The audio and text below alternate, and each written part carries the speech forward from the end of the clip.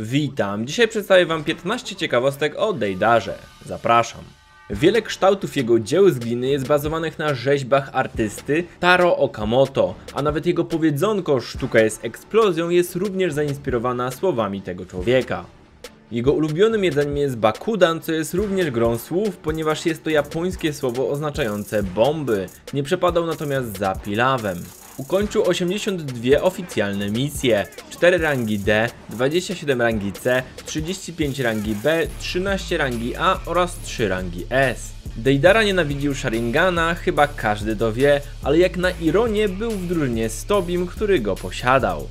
Kac, którego używał w celu detonacji swojej wybuchowej gliny, jest okrzykiem używanym w buddyzmie Zen, aby upomnieć praktykantów. Ta fraza również jest używana w znaczeniu skupienia energii. Całe jego życie poświęcił swoim technikom, ponieważ jego hobby było eksperymentowanie z eksplozjami.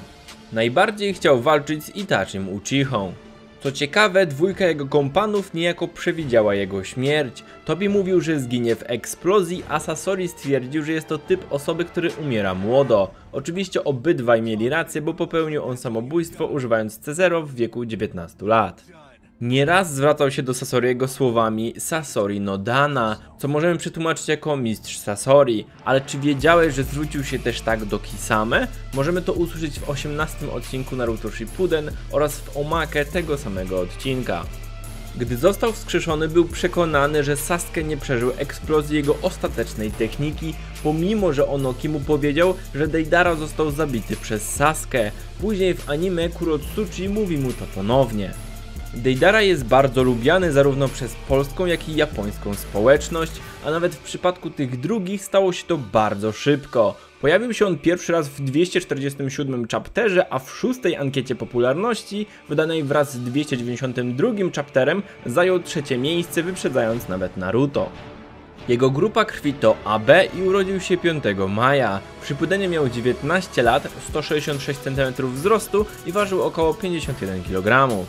Pain bardzo szanował siłę Deidary, ponieważ gdy ten zginął, powiedział, powinienem opłakiwać śmierć Deidary w spokoju. Dodatkowo wtedy też myślano, że Tobi nie przeżył, co Pain skwitował, że to bez znaczenia, zastąpimy go kimś innym. Wraz ze swoim pierwszym kompanem, Sasorim, byli najniżsi w całym Akatsuki. Oczywiście nie znamy jego dokładnego pokrewieństwa, jednakże Kurotsuchi nazwała go Deidara Ni. Może to więc oznaczać, że w jakimś stopniu byli spokrewnieni. Z drugiej strony Boruto nazywa swojego mistrza czasami Konohamaru Ni-chan, jednak nie są spokrewnieni. I to już wszystko jeśli chodzi o ciekawostki na temat tej postaci. Jeśli interesuje Was więcej ciekawostek o innych, zapraszam w kolejny czwartek o godzinie 16. Nie zapomnijcie lajkować, dać łapkę w górę i polubić ten filmik. Cześć!